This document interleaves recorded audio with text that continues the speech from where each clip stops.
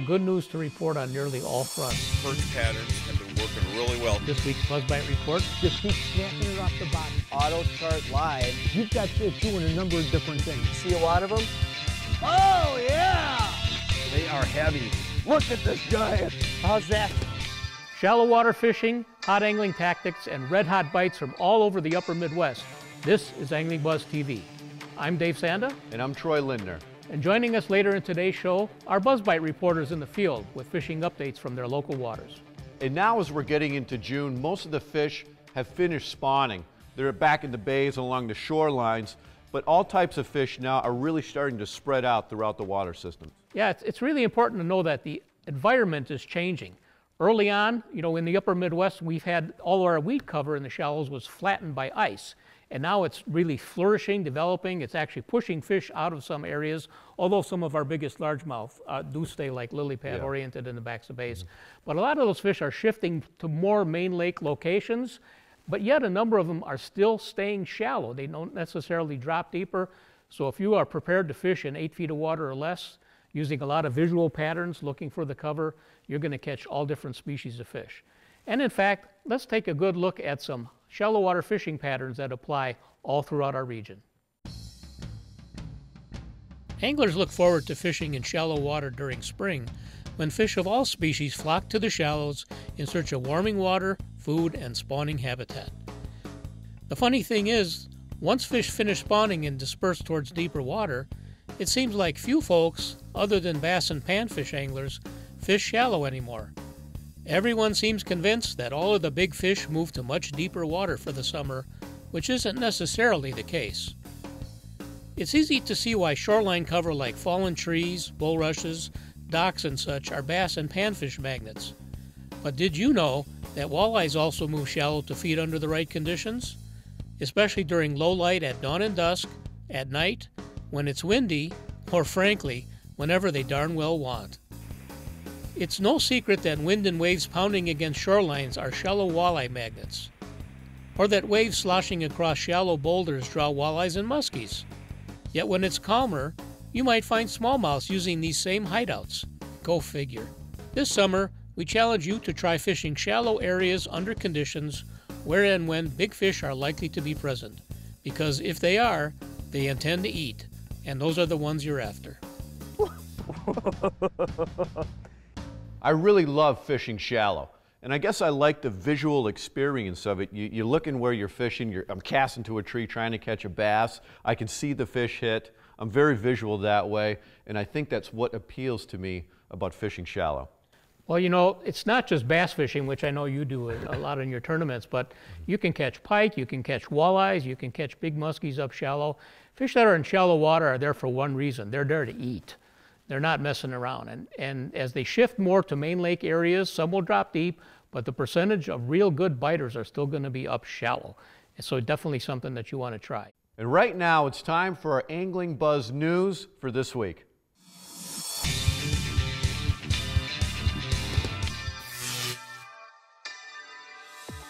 It's free fishing this weekend in Wisconsin, June 4th and 5th. You can fish anywhere in Wisconsin without a license or trout stamp, even if you're a non-resident. Of course, all regulations and rules still apply. There's also a free fishing weekend happening in North Dakota June 4th and 5th. This is for residents only, and again, all rules and regulations apply. Muskie opener is happening this weekend in Minnesota. And remember, the new Minnesota catch and release length records for muskellunge will be starting this season. From one musky fisherman to you, good luck this weekend. I'll be out there. Now you may have seen videos online about people hand feeding bass, but how about walleyes? Matt Benson captured some amazing footage at Bowie's Fly-In Lodge on Trout Lake in northwest Ontario.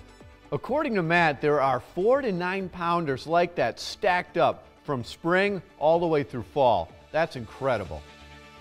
Don't change that channel because when we come back, we're going to head on up to Lake Winnibigoshish in northern Minnesota.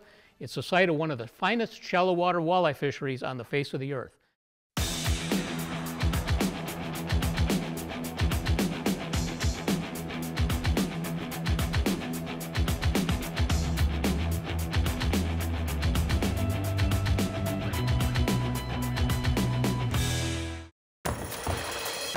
Lake Vermilion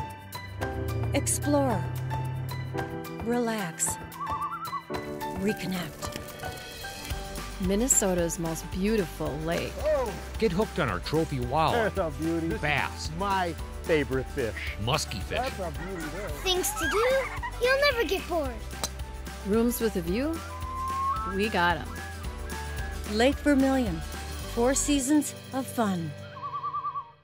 Because boaters know and follow Minnesota's aquatic invasive species laws, 98% of lakes are not known to have any zebra mussels. 95% are not known to have any kind of invasive animals or plants. Let's keep it this way. Clean aquatic plants and animals from boats, trailers, and equipment. Drain all water from watercraft, including the motor, and keep drain plugs out during transport. Dispose of unused bait properly. Together, we're preventing the spread of aquatic invasive species in Minnesota. Sportfish Michigan is your number one source for top charter captains and fishing guides in Michigan. Our network of professionals are full time anglers with years of experience providing customers with the best possible fishing trip services. Fish for trout, salmon, steelhead on Lake Michigan or its famous tributary rivers, the Traverse City area's world class smallmouth bass, walleye fishing on the Detroit River and Saginaw Bay, or northern Michigan's spectacular ice fishing. We do it all. Sportfish Michigan. Get out, get bit. Welcome back to Angling Buzz, and now it's time for a highlight destination feature. Lake Winnibigoshish, also known as Big Winnie, an absolutely amazing multi-species fishery. Yeah, Winnie is a great big windswept body of water with big pike, big muskies, shallow water largemouths, uh, really known for ice fishing for perch in the wintertime, but it's most famous for the shallow water walleye bite. In fact, this is where a lot of snap jigging or pop jigging tactics were developed for walleyes, and they are are uh, now used all over the upper Midwest. Let's take a quick look at Lake Winnie, see what it has to offer, and you'll want to put it on your list of waters to fish later this year.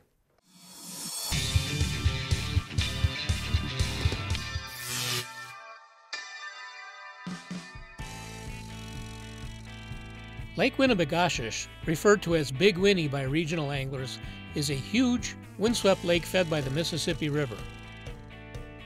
It features a torrid, shallow water walleye bite most of the year, with a deep live bait rigging and jigging bite in the Cutfoot Sioux portion of the lake in fall.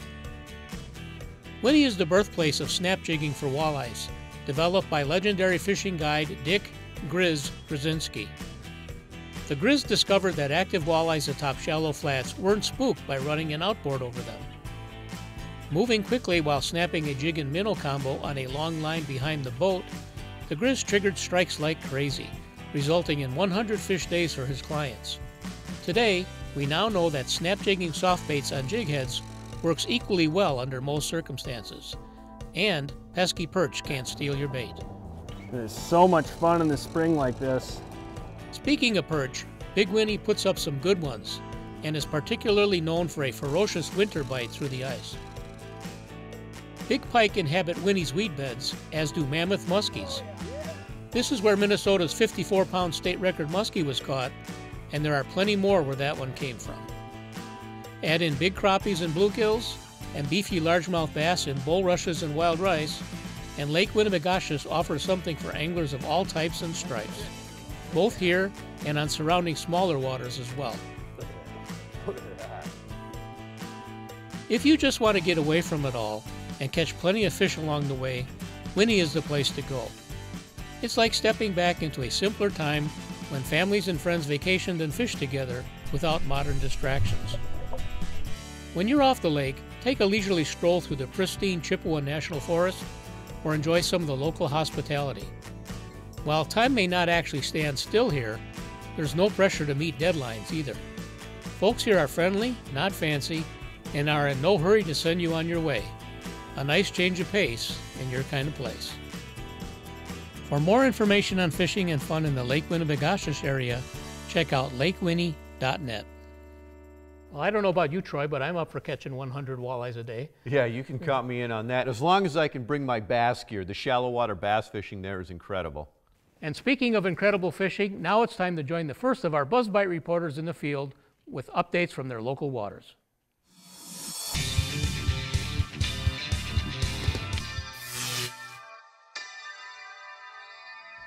Our first Buzzbite report is from Charlie Moore over in the Glacial Lakes region of South Dakota.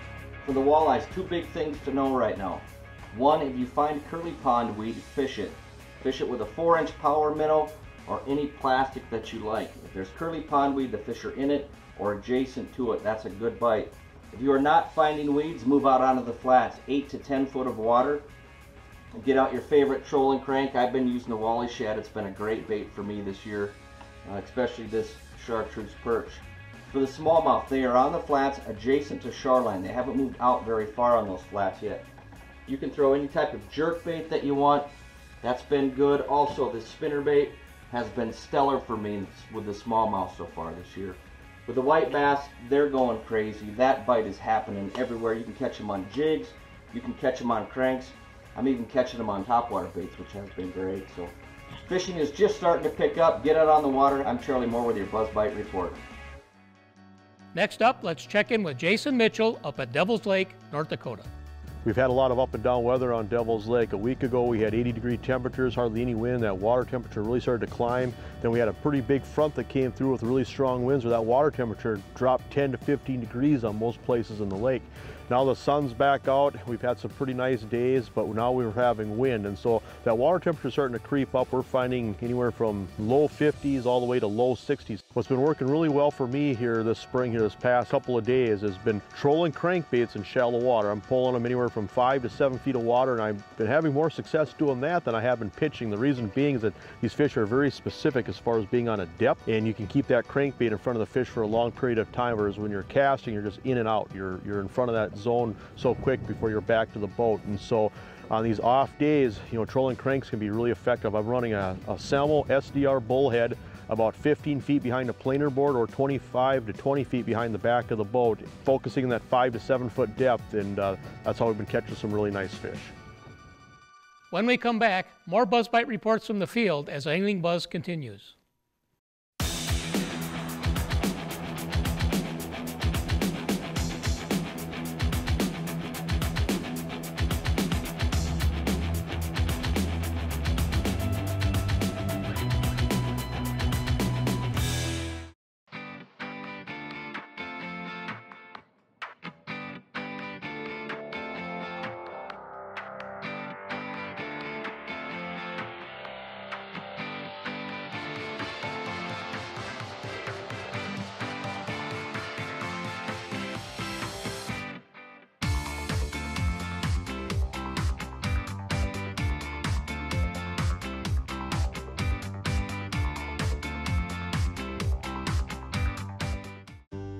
My dad was never too busy to take me fishing.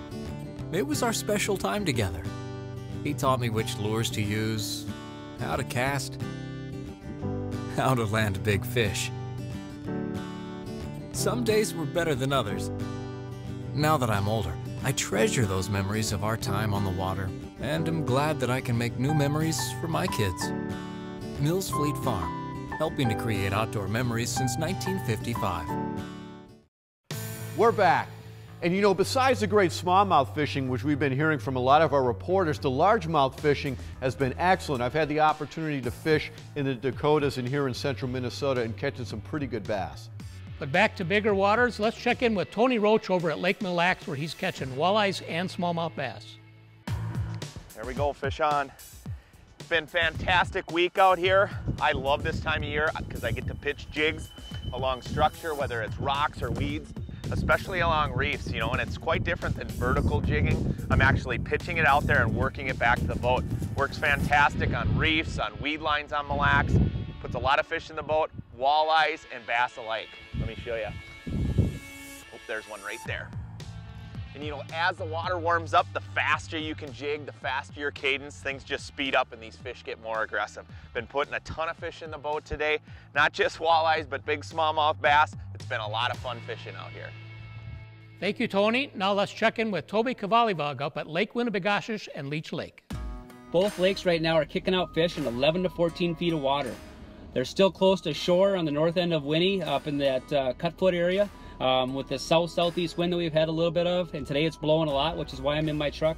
The uh, the uh, the areas up there were really good today, 11 to 14 feet of water, and it's the same with Leech Lake, but Otter Tail all the way over to two points. Any place where there's sand and a little bit of rock, The shiners are up there and the walleyes are really, really feeding. So jigging a shiner, long lining behind the boat, 0.8 to 1 miles an hour is real productive on the shoreline breaks. And the fish are starting to move out to the humps. So kind of an early season pattern already. The water went to 60 degrees and uh, it's, it's warming up and the fish are moving. So here's the ticket. Get away from the boats, long line, jigs and shiners, snap jig them, moving pretty quick, 0.8, 1 mile an hour, even up to one and a half at times uh, yesterday. But the fish were absolutely on fire on Leech yesterday, uh, right in the middle of the day. You just had to get the get it away from the boat and get away from the crowds, and you catch a lot of fish. So that's your report for Leech Lake and Winnipegosh for this week's Angling Buzz Fishing Report. Our next report comes from Billy Rosner on Lake Vermilion. Had a great week guiding this past week, caught a lot of fish from six feet of water out to 30 feet of water. Got into some really nice big walleyes. It was kind of an interesting deal. I was marking them on my Humminbird Helix, getting these nice marks in about this 100 yard area. I couldn't get him to go, so I laid down a bunch of waypoints. Came back in like an hour or two. I thought maybe a change. It got a little windier out. And I started pulling a rig with a number two wide gap VMC hook. And I was 0.5, 0.8. I'd slow down, kick it up, and I got those big fish to start going. In about an hour and a half, we caught six of them from 22 to 27 inches. That was a lot of fun. Crappies are in spawning doing their thing. They're pretty easy to get right now. Also, I've been seeing a lot of muskies in shallow. They're wrapping up their spawn, and that'll be opening up here pretty quick. So have a great week. Travel safe. Have fun out there, and we'll talk to you next time. Now let's head east into Wisconsin and check in with Luke Kavajecz up at Chequamegon Bay. It wasn't that long ago we were running the boat in a stiff northwest wind and catching pre-spawn smallmouth in a snowstorm. Uh, the weather has straightened out and the fishing game has totally changed fairly rapidly in the past few weeks. We've got a big bump in water temperatures. Uh, it's pushed a lot of fish to spawn rather early this year. Um, I'm, I'm, actually seeing empty beds here and there, uh, so there's definitely post-spawn fish that have been hitting um, off the edges of some of these spawning flats. Um, I'm having my, both my gear and fly guys come out with me really early in the morning uh, to beat some of the angling pressure that we deal with this time of year, and it also allows us to throw top water and pick off players early in the morning, um, which is a really fun way to get these fish. Um, as the sun comes up, I'm pushing out off the flats and uh, targeting those those post-spawn fish uh, that are sitting a little bit deeper, uh, throwing extremely small soft plastics and heavy flies for that sort of thing. Uh, a lot of good stuff going on right now, um, and we'll talk to you next week. Up next is Justin Geike in north central Wisconsin. Hey, about the only thing you needed to do to catch a fish locally lately is have your boat in the water. It's been really, really good. But the whole key right now moving forward is pay attention to water temperature. Here locally in the Wausau area, crappies and smallmouth, they're done, the spawn's over. But start to move further to the north and we can find colder water temperatures to find these fish still really shallow and really, really active. If you find you're on a lake and it's not real good because it's too late, just move across the street, maybe that lake's a little bit deeper and a little bit clearer. If you're looking to catch walleyes, hey, after hours activities with slip bobber and live bait combinations jigs have been really good. Bluegills here in Wausau are really heating up shallow, and that's even happening all the way up in the Minocqua area as well. Hey, if you're a musky fisherman, look for shallow bays with emergent vegetation. Throw things like twitch baits and small bucktails really fast. Good luck on the water. For our final report, Ben Wolf over in Michigan. It's been a fantastic week here in Michigan, and we've got some great angling opportunities. Grand Traverse Bay is the place to be if you want to cast for big lake trout, as well as get some cisco, otherwise known as tullibees or lake herring. And we're also starting to see some really nice whitefish action as well. Casting anywhere from 50 feet all the way up to 20 feet with blade baits like this gold one or the silver one. That's been the ticket. Lake St. Clair for bass fishing continues to be red hot. The offshore bite for salmon in ports like Manistee, in Grand Haven and Muskegon continues to be really fantastic for the two and the three year old king salmon and coho salmon. We have a brown drake hatch going on on the rivers right now, and for the fly anglers, a little dry fly, BWO style or brown drake style, they're going to get the action from those really feisty brown trout and resident rainbows and brook trout as well.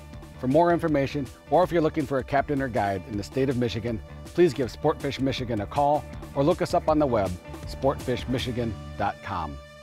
And coming up next after the break, our cool products and technique of the week.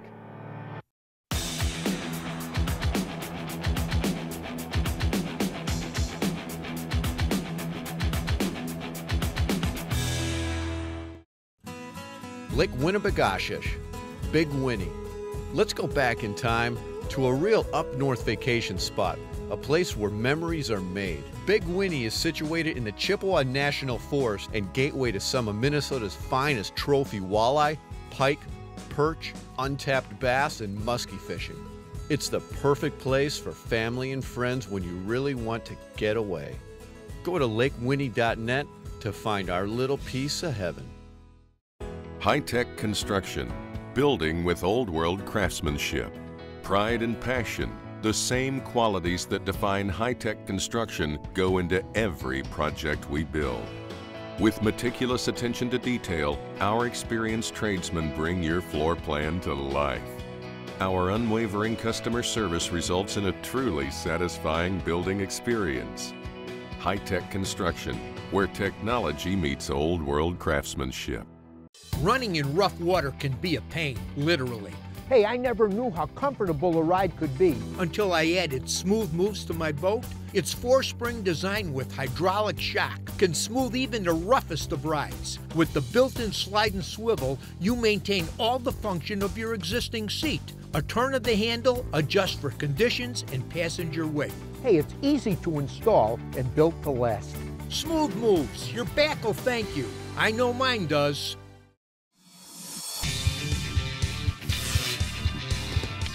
And now it's time for our cool products brought to you by Mills Fleet Farm. And we're talking shallow water. I want to discuss a little bit about walleye and bass fishing. Right here, this is a nice little walleye box. You go into the store, you'll see lots of different jigs. Keep it simple right here. You got a short shank and you got a long shank jig. Think of these as delivery systems. Shorter shank for live bait fishing and a longer shank like this as a soft plastic delivery system. I'll show you right here, I have one. Boot tail works perfect. And you've seen uh, the emergence of soft plastics on the back of these jig heads for walleyes become more and popular each year. Hot skirts right here from VMC, this also works. So when, you, when you're just looking at jigs, you want to look at short shank and long shank and then put on the back whatever you want. But you can also get them pre-rigged right here. This is the Wildeye Swim Shad from Storm. This is kind of an all-in-one thing right here. It's got the jig already built into the bait. And moving ahead for bass, I think uh, stick baits are probably some of the most popular presentations for shallow water bass. And right here, Yamamoto Senko. This is really nice. It's the 5-inch Yamamoto. And then Big Bites also makes a nice wacky stick. This has an O-ring built in the inside. And this is wacky rigged right here. It's really nice. Another way to show the fish a little bit something different. This is pretty neat. This is kind of a shaky head presentation. This is nice dragging along the bottom on rocks. You just throw the, the Senko, your stick bait right on like that. Up next, the magnetic tool holder combo from Rapala. This kind of gives you the three basic tools you need in the boat. A nice strong side cutter, super line scissors, and pliers. You can also bolt this anywhere you want in your boat. You know right back where everything goes. If you fish with somebody that doesn't always put the tools back in place. I'm not going to name any names, but this is a nice way to keep everything compact and organized. And we can't talk summertime fishing without sunglasses. These are from iGogs. iGogs make a lot of moderately priced sunglasses. If two or three hundred dollar glasses are your thing, that's fine. I want performance and value. These come in a lot of different sizes, different different shapes in different lenses, whatever you want. These are really nice. These are the guide fish eyes from iGogs. It's a great price. Check them out. And again, you can find all these products and more at your local Mills Fleet Farm store and online at fleetfarm.com.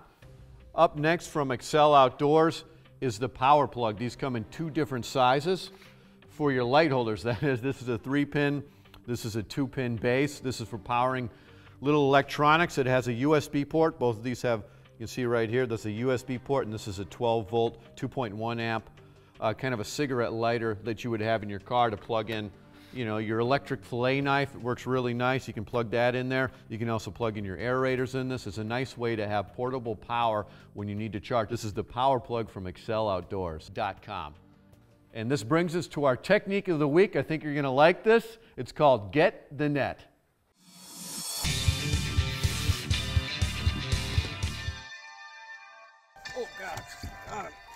When that time comes and you've got that trophy of a lifetime up to the boat, you want that fish in the worst way. So logically, the answer would be to have the biggest net you can get. You can't miss, right? Well, that's not quite always the case. If you're after big fish like muskies, big cats, or sturgeon, large deep nets allow you to not only capture, but also leave the fish in the water until you have all the proper tools at hand to unhook and safely release them with the least amount of stress to such large bodied fish. The problem is that big nets take up a lot of room in the boat. So if you're mainly targeting crappies and or bass, you want to downsize to something that's quicker on the draw and easier to handle. Something in that 20 inch diameter range.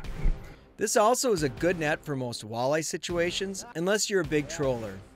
Good trolling nets, no matter if you're after walleye, salmon, trout, you name it, requires a little larger diameter hoop with a long reinforced handle to reach out well beyond the motor to get them.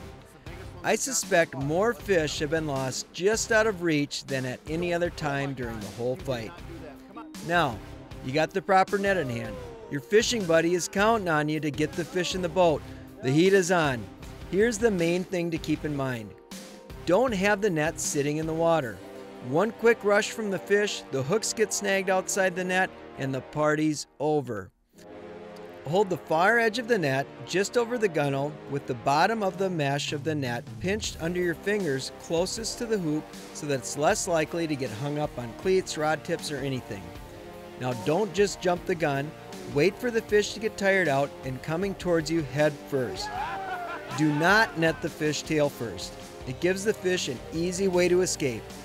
Once you scoop the fish, lift the net up fast. This makes it less likely that the fish will jump out of the net. There you have it. You're happy, your buddy's happy, and there will be peace in the boat for the rest of the trip. That's some great information. And the one thing for sure, if you are using the net a lot, well, it means you're catching fish. Never forget, the best fishing partner is a good net man. That's all we have time for this week. I'm Dave Csanda. And I'm Troy Lindner. And if you haven't had a chance yet, please stop by your local Mills Fleet Farm store, enter our sweepstakes, and have a chance to fish with us in the awesome Brainerd Lakes area. And remember to help stop the spread of aquatic invasive species when you do go out boating and fishing, clean, drain, and dry when you're done. Next week on Angling Buzz, it's all about finding fish.